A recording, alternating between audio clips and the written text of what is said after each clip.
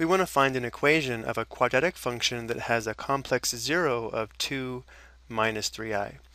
Notice in this problem they're only giving us one of the complex zeros, but since complex zeros come in conjugate pairs, if 2 minus 3i is a zero of the function, then so is 2 plus 3i.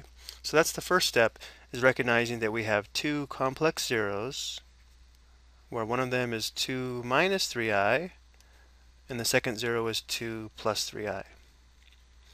Next, if we're given the zeros of a quadratic function, it gives us information about the factors of the quadratic function. So for a quick review, the zeros or roots of a quadratic function are the x values for which the function f of x is equal to 0. And if our zeros are r sub 1 and r sub 2, then a possible quadratic function is f of x equals any constant a times a factor of x minus r sub 1 times a factor of x minus r sub 2. So again, notice how in these factors we're subtracting the zeros or roots of the quadratic function.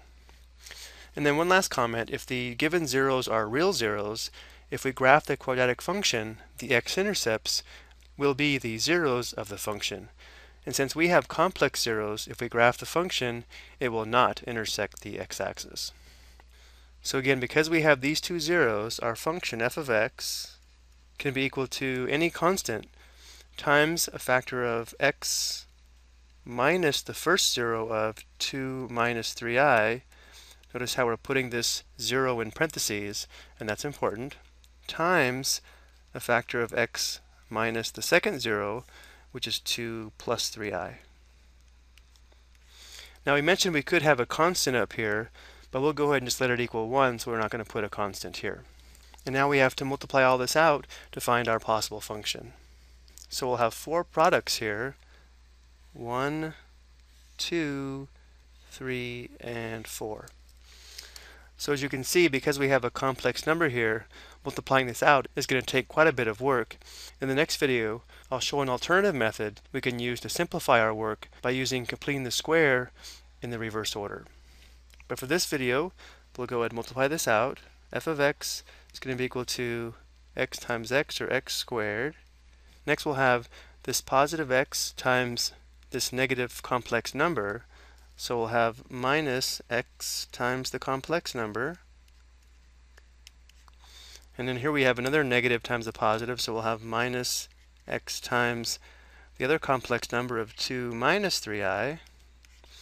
And then we'll have a negative times a negative, so it's going to be plus the product of the two complex numbers, 2 minus 3i and 2 plus 3i. Now we'll distribute here, and we'll have four more products here. So we'll have x squared minus 2x minus 3xi minus 2x plus 3xi.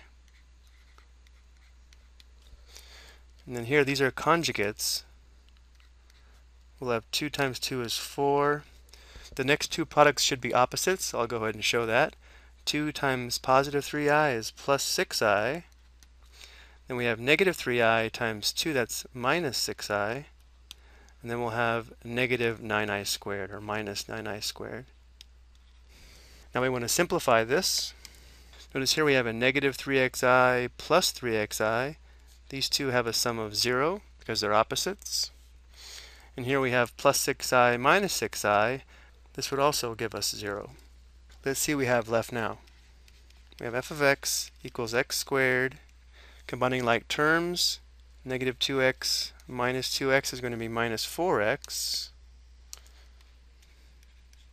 And then we're left with plus 4 minus 9i squared.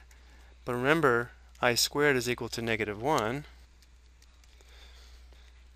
So this ends up being plus 9. So this ends up being 4 plus 9. So one possible function with these zeros would be f of x equals x squared minus 4x, and then 4 plus 9 would be plus 13.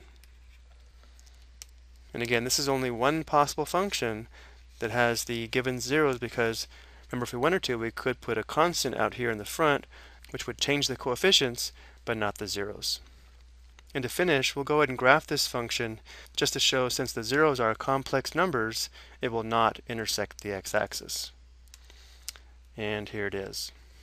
As I mentioned earlier, we'll take a look at the same problem again using a different method, which will require a lot less work by using the method of completing the square in the reverse order. I hope you found this helpful.